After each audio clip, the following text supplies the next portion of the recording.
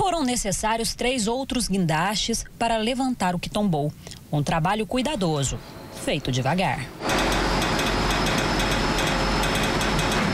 Enquanto um equipamento puxava o guindaste para cima, os outros faziam o contrapeso, para não correr o risco de tombar novamente.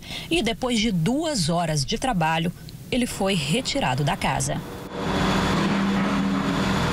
E depois de todo esse trabalho, dá para ter uma noção melhor de como ficou a casa atingida pelo guindaste.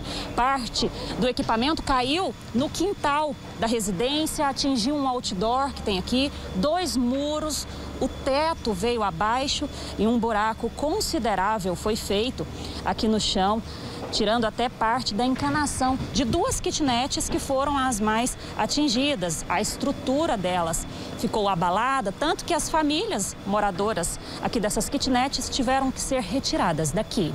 As famílias estão temporariamente em dois apartamentos no Jardim do Cerrado. Segundo essa senhora que está para ganhar neném, ela me falou que é até sábado, certo? Até sábado que eles estão lá, que foi pago lá para eles até sábado, eles procuraram. Senhor Luiz, e agora?